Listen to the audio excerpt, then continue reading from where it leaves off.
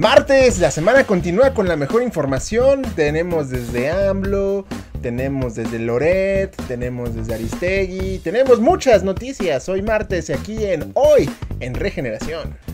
Es un truco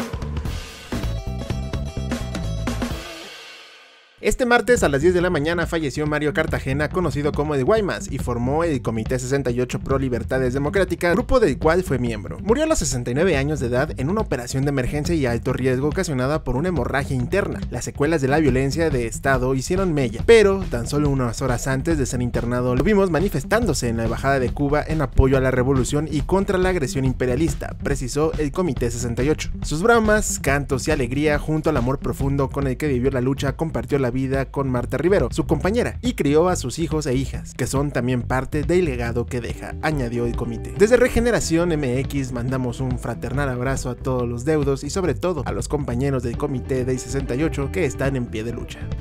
Dejar en el pasado esas prácticas del tapadismo este martes en su conferencia de prensa matutina el presidente Andrés Manuel López Obrador aseguró que todos tienen derecho a participar en la sucesión presidencial, que ya no existen los tapados. Sencillamente eso ya no existe, y ahora todos tienen posibilidad de acuerdo a la constitución y todos tienen el derecho como ciudadanos a ser votados y que voten por ellos. Todos los ciudadanos ya no hay tapados. Sencillamente eso ya no existe, y ahora todos tienen posibilidad de acuerdo a la constitución, todos tienen el derecho como se establece la constitución de votar y ser votados. Todos los ciudadanos ya no hay tapados, sentenció el presidente. Mi corcholata favorita será el que el pueblo quiera, dijo el presidente al ser cuestionado sobre integrantes del gabinete que podrían ir como candidatos a la presidencia. ¿Tú qué opinas? ¿Quién será el bueno para sustituir a Andrés Manuel en 2024? Cuéntanos en los comentarios. Faltan dos años y medio.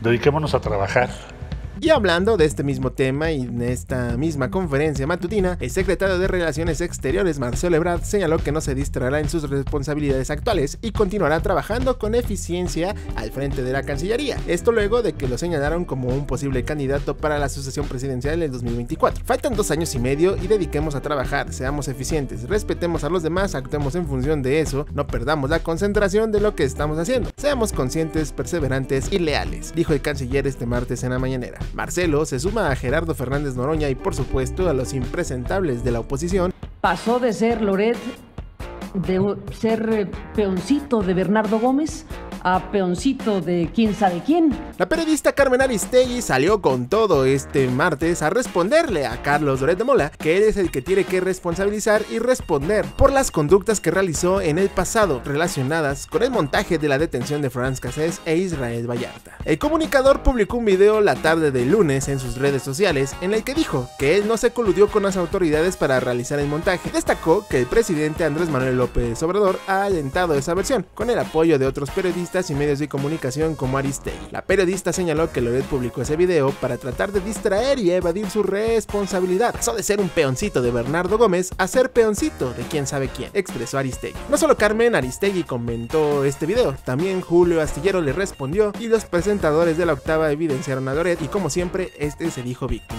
Hay que recordar que el año pasado se denunció que Latinus, empresa y medio de comunicación del cual es cabeza Carlos Loret de Mola, está financiado por varios personajes como Roberto Madrazo y su familia, además del gobierno del estado de Michoacán, comandado actualmente por Silvano Aureoles. Gracias, me gusta el dinero. Ver cómo lo vendemos sin eh, malbaratarlo el presidente Andrés Manuel López Obrador dijo en su conferencia matutina de este martes que se buscan todas las opciones para el avión presidencial y señaló que la aeronave es muy extravagante por lo que cuesta trabajo venderlo. Luego de una reunión que se estuvo en Palacio Nacional con las empresas de aviación de Estados Unidos Delta y directivos de Aeroméxico, el mandatario aseguró que les ofreció el avión presidencial para distintos eventos como viajes ejecutivos o fiestas. López Obrador mencionó que en ocasiones se acostumbra que los matrimonios se realizan en algún lugar del Caribe y se tiene que trasladar a toda la familia de invitados, por lo que podría usarse para este tipo de eventos. Aproveché para ofrecerles el avión, porque podría administrarlo a Aeroméxico y que lo utilice para viajes ejecutivos o de fiestas, porque hay costumbres que hay matrimonios en algún lugar del Caribe y va la familia invitados, para eso podría utilizarse, precisó el presidente López Obrador. ¿Tú qué opinas? ¿Ya deberían de comercializar la aeronave de Peña Nieto? Cuéntanos en los comentarios. liberales centro derecha. O sea, a lo que me refiero es como la, posibilidad de, de, tener...